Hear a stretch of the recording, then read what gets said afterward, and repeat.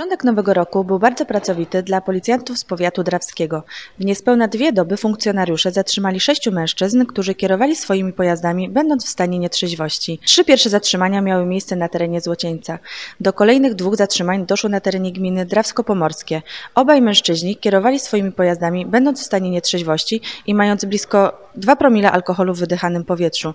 Mężczyźni zakończyli swoje podróże uderzając w przydrożne drzewa. Do ostatniego zatrzymania doszło na terenie Czaplinka. Jak wynikało ze zgłoszenia, kierujący samochodem marki Chrysler miał podróżować całą szerokością jezdni. W wyniku sprawdzenia okazało się, że 34-letni mężczyzna kierował swoim pojazdem mając blisko 2 promile alkoholu w wydychanym powietrzu. Czy policjanci z powiatu drawskiego stosują już nowy taryfikator? Tak stosują. Policjanci przypominają, że od 1 stycznia obowiązuje nowy taryfikator mandatów.